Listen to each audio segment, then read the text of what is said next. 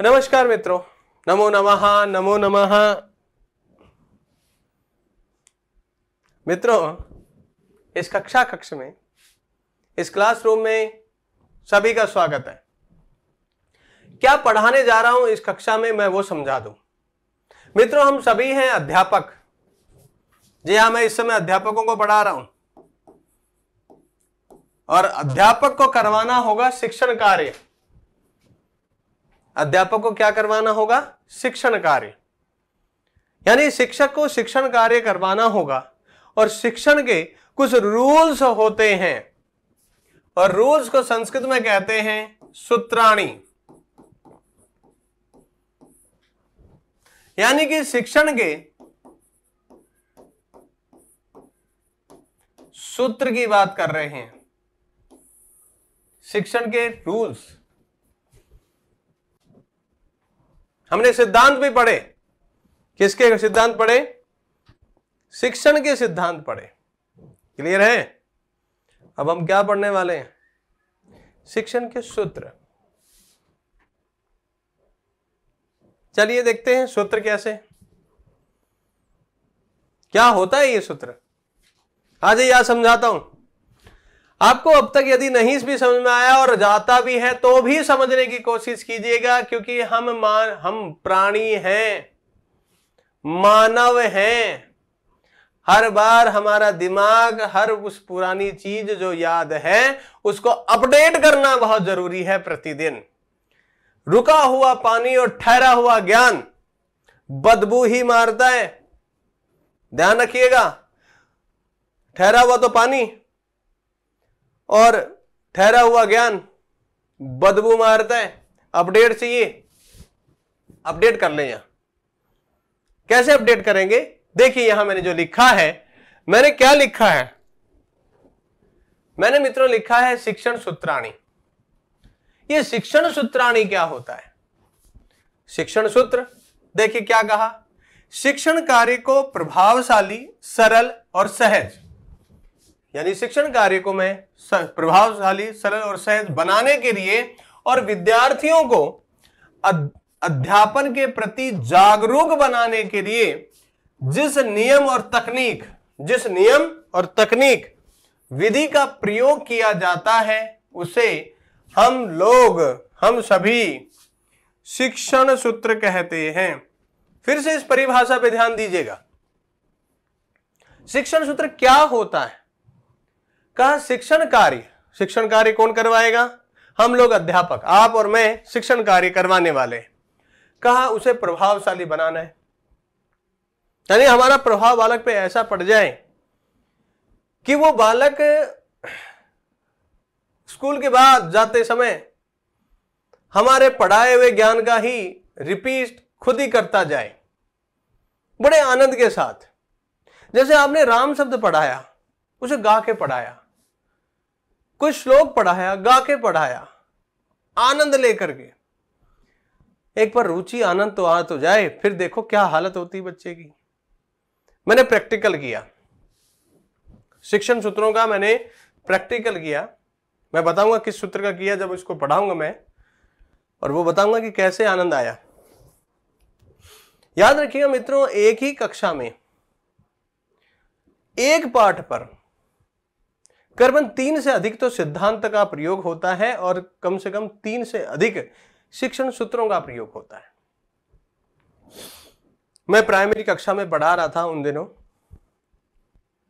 छोटे बालक थे, कक्षा छह, सात, आठ के। मैंने राम शब्द को गाया और गा करके, सोचिए, राम शब्द एक ऐसा शब्द रूप है जिसे वर्षों से हम गा तो रहे हैं, लेकिन बालक के याद नहीं होता। छोटी कक्षा थी मैंने प्रयोग किया। कैसे किया? आप भी कीजिएगा। मैंने राम शब्द को गाया। मैं इसलिए अपने ऊपर बता रहा हूँ क्योंकि मैं कोई महान नहीं हूँ, लेकिन मैं एक अध्यापक ज़रूर हूँ। मुझे अपना अध्यापन कार्य जो है, वो प्रभावशाली बनाना है। मेरा काम इतना ही है। कैसे गाया? उस पर आ जाओ। प्राथमिक कक्षा थी छोटे छोटे बच्चे बैठे, कक्षा छह, सात, आठ के। राम शब्द गा रहा था। राम है, राम राम प्रतिमा ओए होए। राम में राम, रामाने द्वितीया। रामेण रामाभ्याम रामई तृतीया। ओहो, मैंने तो तीसरी लाइन गाई थी, और जो बालक जो बैठे थे, उनके कान खड़े हो गए कि गाना है कोई। जब मैंने पूरा गाया मुझे उम्मीद नहीं थी कि जो बालक है, जो बालक है, वो छुट्टी या इंटरवेल के बाद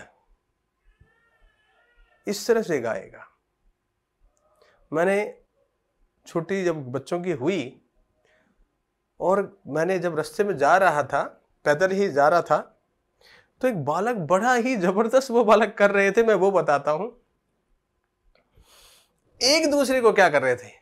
राम है राम राम प्रतिमा मैंने कहा, यार, मैंने यूँ तो पढ़ा ही नहीं इसको। और देखिए बालक कर कैसे रहा है?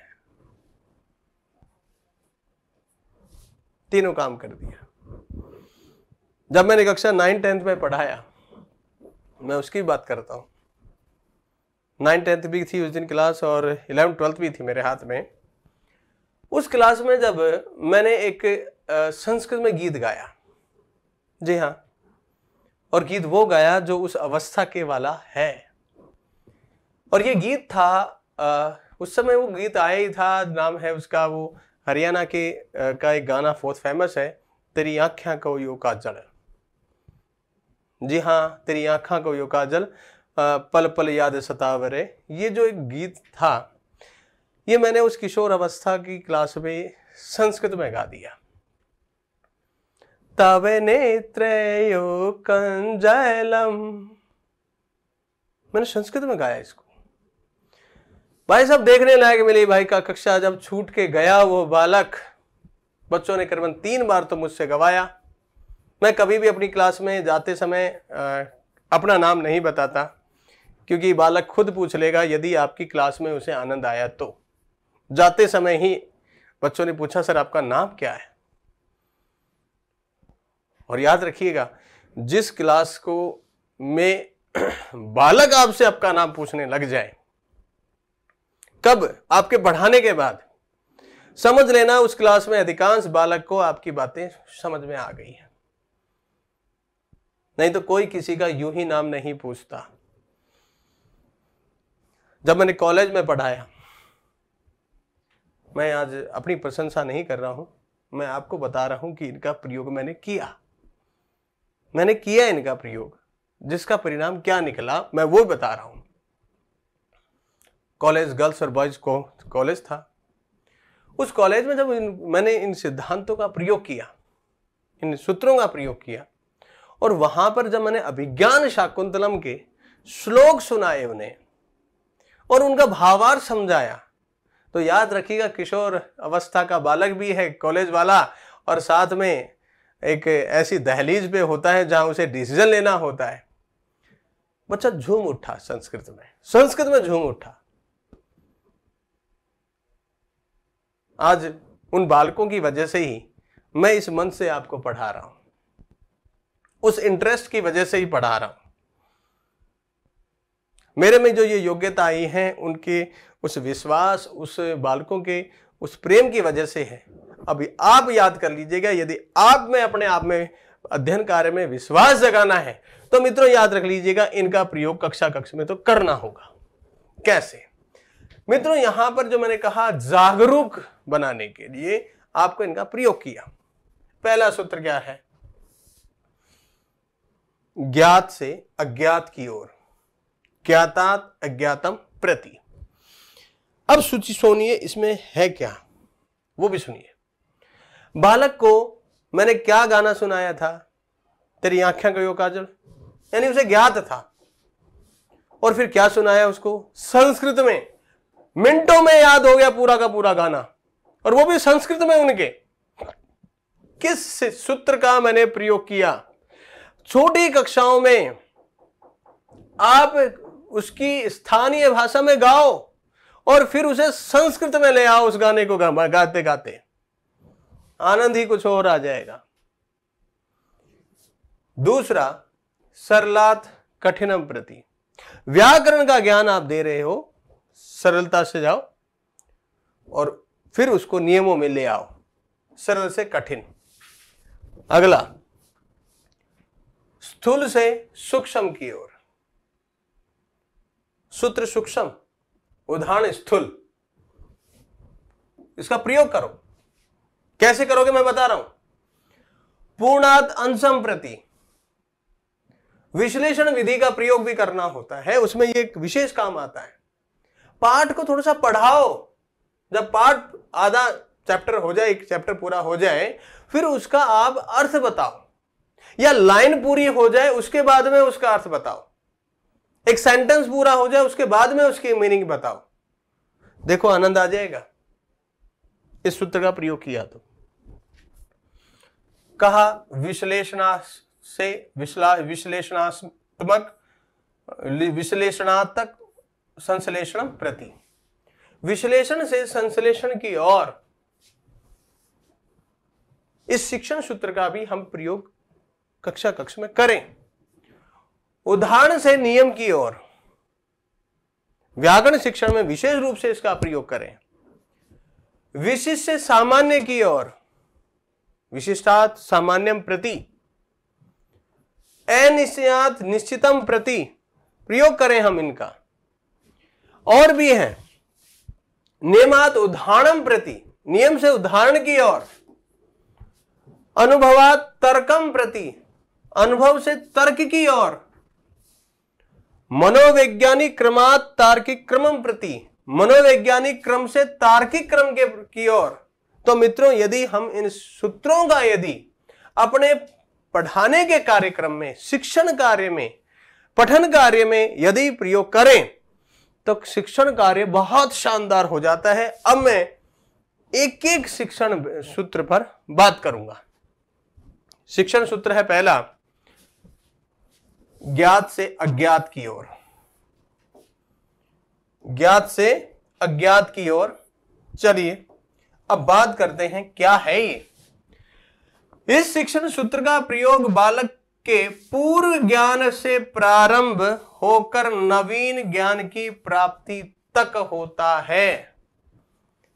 याद कीजिएगा, इस शिक्षण सूत्र का कहाँ प्रयोग करते हो आप? प्रस्तावना कौशल में। प्रस्तावना बनाते हो तब। जी हाँ, प्रस्तावना बनाते समय। आम बालक से करीबन चार प्रश्न वो पूछते हो जो उसे आते हैं। और पांचवा प्रश्न इसलिए कठिन बनाते हो ताकि आप पाठ पे आ जाओ। क्योंकि नवीन ज्ञान देना है। पूर्व ज्ञान था से शुरू किया और नवीन ज्ञान जो आज पढ़ाने वाले हो, इस सूत्र का प्रयोग कर रहे हो। यह शिक्षण सूत्र प्रस्तावना कौशल का प्रमुख सूत्र है। यह सूत्र कहाँ का प्रमुख सूत्र है? प्रस्तावना कौशल का। नवीन ज्ञान के लिए बालकों को पहले वह ज्ञान दिया जाता है जिसे वे पहले से जानते हैं। इस पूर्व ज्ञान से नवीन ज्ञान को जोड़ा जाता है। पहले से जानते हैं और नवीन ज्ञान को जोड़ दिया जाता है। कैसे? प्रश्न है ना कैसे? मित्रों, आप कोई भी पाठ पढ़ा रहे हो, कोई सा भी, जो कि संस्कृत की पाठ्य पुस्तक में हो, चाहे कक्षा छह से लेकर के बारहवीं क्लास तक में, एलकेजी क्लास से लेकर के बारहवीं क्लास तक में किसी में भी हो, कहीं ना कहीं उसका पूर्व ज्ञान बालक को है। वो किसी चीज़ का भी हो। आपको वहीं से ही स्टार्ट करना होगा। और ये जब प्रारंभ किया जाता है तो नवीन ज्ञान स्वतः ही आ जाता है। सरल से कठिन के प्रति। इस शिक्षण के अंतर्गत सर्वप्रथम सरल एवं ज्ञात शब्दों और वाक्यों को पढ़ाकर कठिन एवं अज्ञात शब्दों एवं वाक्यों की ओर ले जाया जाता है।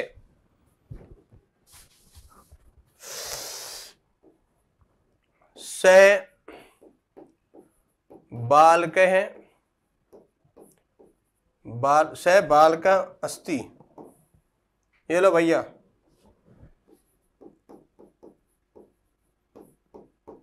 यहाँ तक ठीक है? स बालक है अस्थि। वह बालक है। जानता था बालक? अब आगे बढ़ जाओ। बालक है विद्यालयम गच्छति।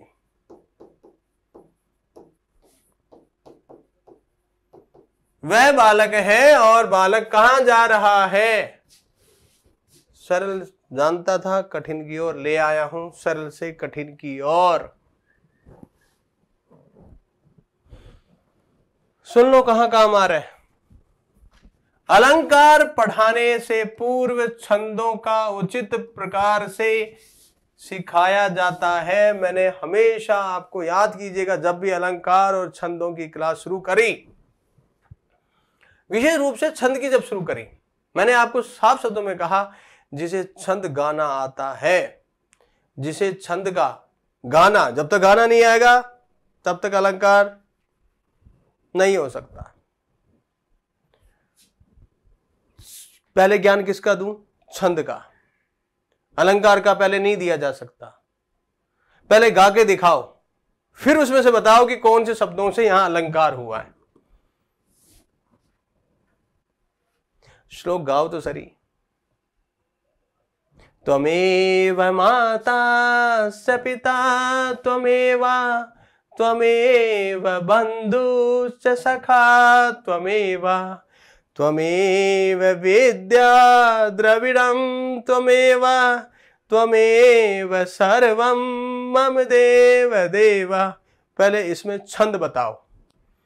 और छंद बताने के बता बाद बताओ कि इसमें अलंकार अनुप्रास है। जो मैंने गाया अभी, पहले उसमें छंद बताओ, बालक को। और छंद बताने के बाद अलंकार बताओ। इसीलिए अलंकार का शिक्षण सूत्र सरल से कठिन की ओर। के बाद अलंकार पढ़ाया जाता है। अब आ जाओ। राम शब्द सिखाने के बाद ही भूभ्रत जैसे पुल्लिंग शब्द सिखाए जाते हैं। जी हाँ पुल्लिंग में पहले राम शब्द सिखाओ उस बालक को। राम है राम और राम प्रथमा, पहले सिखाओ और उसके बाद भूभ्रत भूभ्रत भूभ्रत प्रथमा, भूभ्रतम, भूभ्रत, भूभ्रता है द्वितीय, भूभ्रता, भूभ्रत भ्याम, भूभ्रत भी तृतीया। वो सिखाओ। सरल से कठिन की ओर। ध्यान रखना, उदाहरण भी दे रहा हूँ। भूल बच जाइयो एग्ज़ाम में पूछ ले तो बता देना। कर्तरी एवं कर्म वाच्य सिखाने के बाद ही भाव वाच्य का प्रयोग सिखाना चाहिए। सरल से कठिन की ओर भाव वाच्य तब सिखाना जब उसे कर्तरी वाच्य और कर्म वाच्य आ जाए। ये तीसरा उदाहरण, मैंने तीन तीन उदाहरण दिए हैं सरल से कठिन की ओर। शिक्षण सूत्र में यह आपको ध्यान रखना होगा। तीसरा, स्थूलात सूक्ष्म प्रति। स्थूल उदाहरण। सूक्ष्म सूत्र। उदाहरण सदैव स्थूल होता है, मैंने पहले ही कहा भाई उदाहरण हमेशा स्थूल। तथा नियम सूक्ष्म ही होता है। इस शिक्षण सूत्र का प्रारंभ दृश्य और लिखित सामग्री के प्रदर्शन से ही होता है। क्या क्या सामग्री भाई? या तो दिखाओ बच्चे को, या लिखित का सामग्री दिखाओ, उससे ही प्रारंभ होगा। अंत दृश्य और लिखित सामग्री के नियम से होता है और अंत किससे होगा? दृश्य दिखा करके या फिर लिखित सामग्री से ही इसका समाप्ति भी होगी।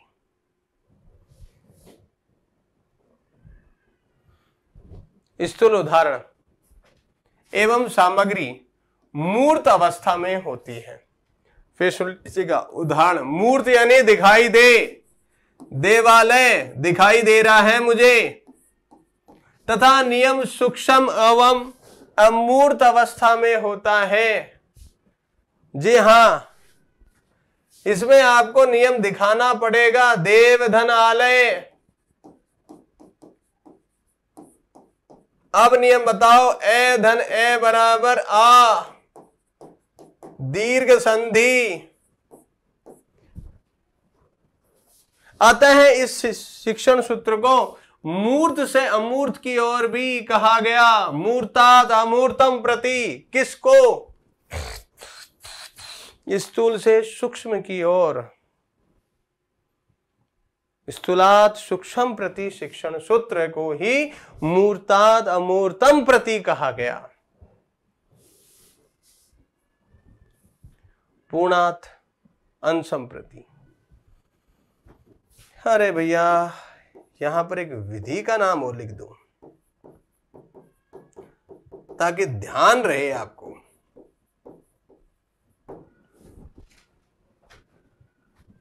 मित्रों, इस विधि का एक नाम और इस शिक्षण सूत्र का एक नाम और भी है। संश्लेषण से विश्लेषण की ओर।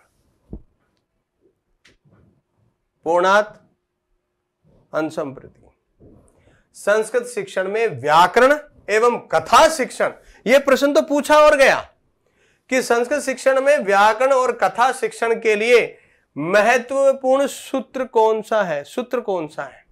पूर्णात अंशम प्रति इस शिक्षण सूत्र में संपूर्ण अंश या पाठ को पढ़ाने के बाद, सुन लेना, पैराग्राफ जब पूरा पढ़ा दो या लाइन पूरी पढ़ा दो, उसके बाद उसके छोटे छोटे अंशों से समझाना चाहिए। इसीलिए कहा गया, इस सूत्र का आधार गैस्टाल्टवाद है। गैस्टाल्टवाद भी कहता है कि आप किसी चीज़ को पहले पूरा बोलो तो सही, फिर उसको सीधे समझाओ। और गैस्टाल्टवादी यही कहते हैं। गैस्टाल्टवाद, ध्यान रखिएगा, पूर्णात अंशम प्रति की बात कर रहा है।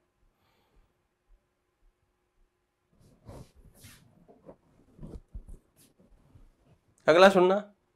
कहा, विश्ले, अभी तो गया था संश्लेषण से विश्लेषण, यानी कि पूर्ण से अंश की ओर। अब आगे है शिक्षण सूत्र। विश्लेषणात्मक विश्लेषणात् से संश्लेषण प्रति। का इसे से समझाओगे क्या? विश्लेषण करो और फिर क्या करो? संश्लेषण।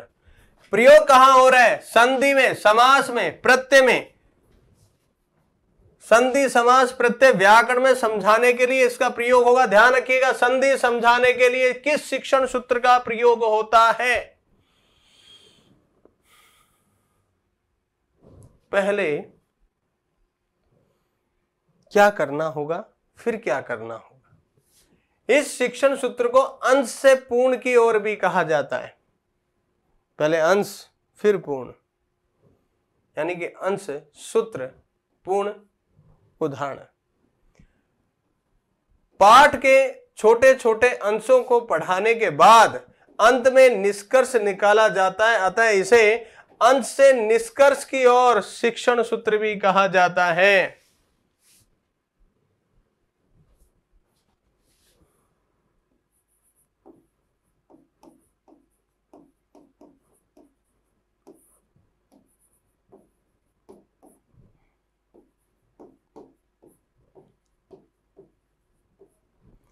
पहले ये समझाओ। पहले ये समझाओ। फिर समझाना इसे। पहले इनको समझाओ, क्या है ये तीनों? फिर समझाना इसको। इसीलिए कहा, संश्लेषण से। संधि, समास, प्रत्यय को समझाने का शिक्षण सूत्र ध्यान रख लेना, भूल मत जाइयो। फिर कहोगे कि हम भूल गए। संश्लेषण से, विश्लेषण से संश्लेषण की ओर। उदाहरण से नियम के प्रति उदाहरण दो और उसके बाद नियम की ओर। मित्रों, इसका प्रयोग सबसे ज़्यादा व्याकरण में किया जाता है। सबसे ज़्यादा व्याकरण में, व्याकरण शिक्षण में। और व्याकरण शिक्षण में भी सबसे ज़्यादा आगमन विधि में। जी हाँ, आगमन विधि में। क्या किया जाता है? क्या कहा? इस शिक्षण सूत्र में प्रथम उदाहरण प्रस्तुत करना होगा।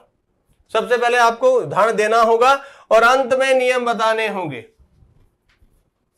पहले उदाहरण दो, मैंने नीचे दे रखा है। इस शिक्षण सूत्र, यह शिक्षण सूत्र व्याकरण शिक्षण में आगमन विधि का प्रमुख सूत्र है।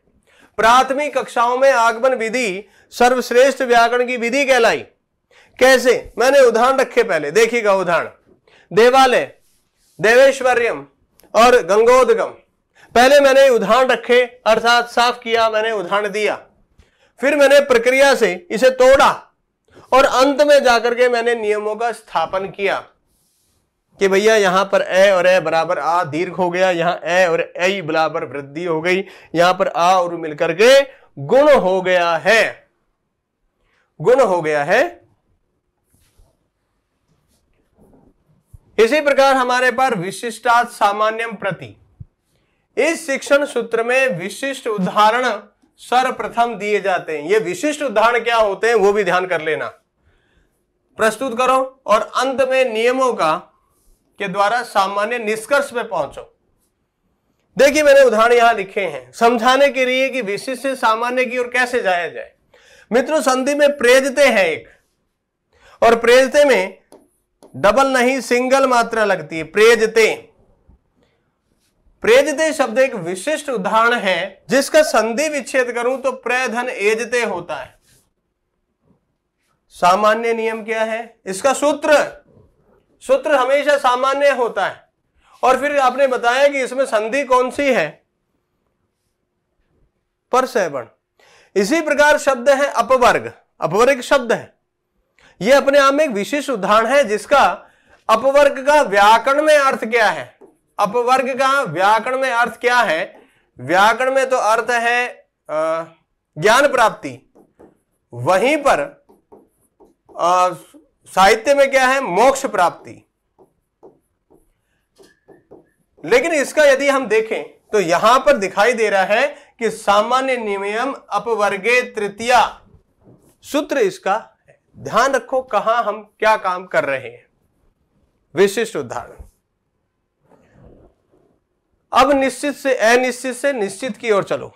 अनिश्चित से, निश्चित की ओर। कहा, इसमें क्या है? इस शिक्षण सूत्र का प्रयोग प्रारंभिक कक्षाओं के पाठ्यक्रम पे किया जाता है। यह प्रारंभिक कक्षाओं में ही आता है। कहा, बालक की प्रारंभिक अवस्था में ज्ञान स्पष्ट और अनिश्चित होता है। ध्यान रखो, बालक का प्रारंभिक कक्षाओं में ज्ञान साफ़ नहीं होता, स्पष्ट नहीं होता है। अध्यापक वर्णमाला और छोटे शब्दों का प्रयोग करते हुए चित्र प्रतिकृति के माध्यम से बालक के ज्ञान को स्पष्ट और निश्चित करता है। किस शिक्षण सूत्र में? अनिश्चयात्मक निश्चित प्रति। इसका प्राथमिक कक्षा में प्रयोग होगा। इसी प्रकार आप देखें अगला, नियमात उदाहरण प्रति। यह नियम से उदाहरण की ओर जा रहा है। यानी कि उदाहरण के, उदाहरण से नियम की ओर बिल्कुल विपरीत। इस शिक्षण सूत्र में क्या करना होगा? पहले नियम पढ़ाओ और फिर अंत में उदाहरण दे दो। क्योंकि इस शिक्षण सूत्र का प्रयोग किसमें होगा? व्याकरण की व्याकरण की किस विधि में? व्याकरण की किस विधि में भाई? क्लियर करो? निगमन विधि में। कैसे? सूत्र देखो। सूत्र देखो। देखो सूत्र, इको यणची, अकह सेवन और आद गुण। है और उदाहरण क्या है? शुद्धि उपास्य देत्यारी और गंगोदगम। मित्रों, ऐसी उदाहरणों को हमें हमेशा प्रयोग में लाना होगा। अगला मित्रों मेरे पास है, अनुभव और तर्क। अनुभवात तर्कम प्रति। क्योंकि मित्रों हमारे ग्यारह हो चुके हैं और ग्यारह सूत्र बहुत होते हैं। बालक अपने पूर्व अनुभवों, बालक पहले से बहुत सारा अनुभव जानता है, वो भी गेट खोल खोल खोल के देखता है। ठीक? उसके अनुभव है और उसको किस पे लाना है आपको? तर्क की कसौटी पर। और ये कैसे लाया जाए? ये मनोवैज्ञानिक क्रम से और तार्किक क्रम के प्रति कहा जाता है। कैसे? कि चारों कौशलों का क्रम मनोवैज्ञानिक क्रम है तथा छात्र स्तरानुसार विषय वस्तु का व्यवस्थित क्रम तार्किक क्रम होता है। ध्यान रखिएगा। चारों कौशल जो हैं, वो कैसे होते हैं? मनोवैज्ञानिक। लेकिन विषय वस्तु का व्यवस्थित क्रम क्या होता है? तार्किक क्रम। कैसे? मित्रों प्राथमिक कक्षा में जो भी हम पढ़ाते हैं वो मनोवैज्ञानिक क्रम से पढ़ाते हैं। लेकिन जब वो बच्चा बड़ी कक्षाओं में आ जाता है तो वही मनोवैज्ञानिक कर्म किसमें बदल जाता है? तार्किक क्रम में। इसीलिए ज्ञान को क्या कहा जाता है? नीचे से ऊपर की ओर। नीचे से ऊपर की ओर। और, और मित्रों ये आपके 11 क्या हैं? शिक्षण सूत्र हैं। इनका प्रयोग हमें कक्षा कक्ष में हर हालत में करना है। ठीक है? ढेरों शुभकामनाओं के साथ। जय जय राम